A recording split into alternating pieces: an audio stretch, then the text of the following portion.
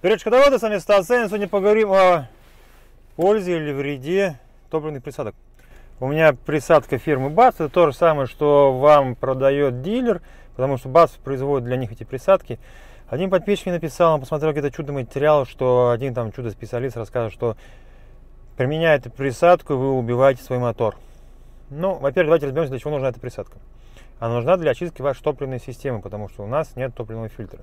И из-за того, что у нас плохой бензин, ВАК придумал эту присадку, которая убирает влагу, грязь с топливного бака и чистит форсунки по предварительным данным. Естественно, э, в процессе ее сгорания происходит всякие распад, ну, образование плохих веществ, которые, по заверению этого специалиста, попадают потом в ваше масло и разжижают его. По идее, тогда любое топливо с присадками, оно будет верно для вашего мотора если так грубо.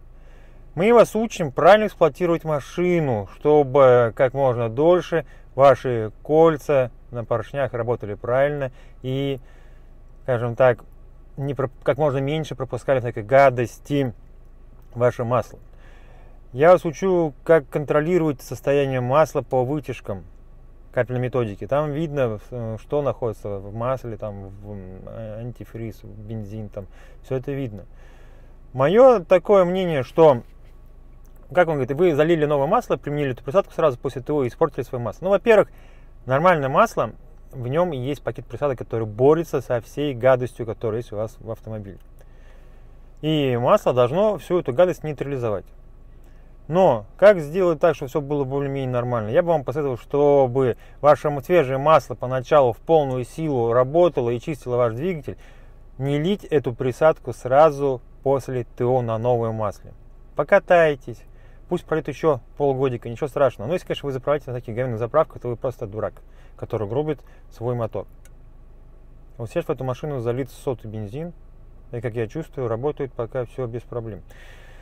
И так и будет, потому что правильная эксплуатация станции поможет этому владельцу.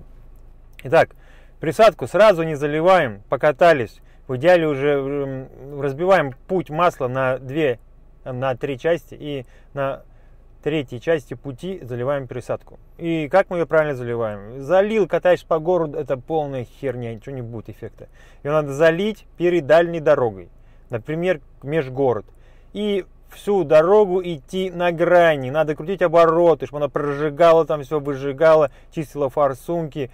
Прожгли полный бак, как можно скорее надо сжечь весь бак на максимальных оборотах крутить там по 3, по 4 тысячи, там, вплоть до 6 хотите, если делать обгон на третьей передаче, смотри, какой мотор рос.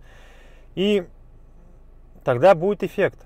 А если вы просто залили и в городе катаетесь, как бабушка, дедушка, ерунда все это, просто зря выкинули присадку. Ну, там, может, какую-то влагу убрали с бака. Но, еще раз говорю, если у вас нормальные заправки, у вас там грязи не будет, ну или будет минимальное количество. Какие заправки нормальные, все рассказано в плейлисте про бензин, там есть паспорта топлива, со всей стороны нам люди присылали. Возможно, мы снова начнем деятельность по бензину, потому что снова возникают вопросы по маслу, по бензину, по эксплуатации, по прогревам. Все, как говорится, завертелось, закрутилось заново, но с новой силой, с новыми знаниями все будет проще.